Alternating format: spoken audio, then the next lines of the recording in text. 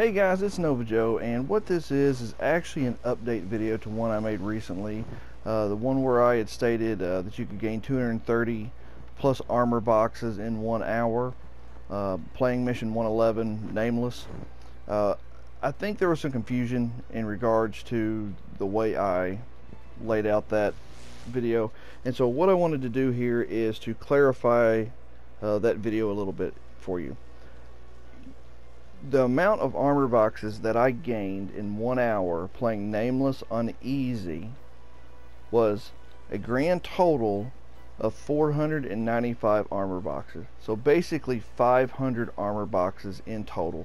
That was across all four classes added together where obviously the ranger got the majority of the boxes on each playthrough. That was each play that was 8 playthroughs in 1 hour. Uh, so I just wanted to clarify that for everybody that if you play Nameless on easy, uh, offline, which is mission 111 again, you can get upwards of 500 boxes. 500 armor boxes, I mean, not weapon, but 500 500 armor boxes. Sorry guys, it's really late and I'm tired, but I wanted to clarify that for everybody. So, um, yeah, I just I hope that makes a, a, bit more sense for everybody on here. You don't get 230 armor boxes total in an hour. You get 500.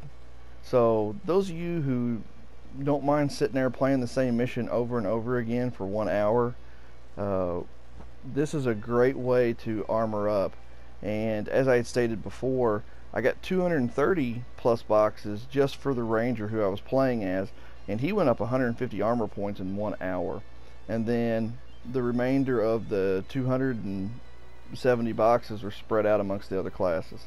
So, alright guys, don't want to keep beating a dead horse here, but you can get 500 armor boxes uh, in one hour playing Nameless on easy. Uh, so, just wanted to clarify that, and you can. Uh, the video that I posted still stands. Everything that I used is still the same. Uh, but yeah, just to clarify, 500 armor boxes, one hour playing Nameless. Alright guys, as always, take care, God bless, and keep on gaming. I gotta get some sleep. Ugh.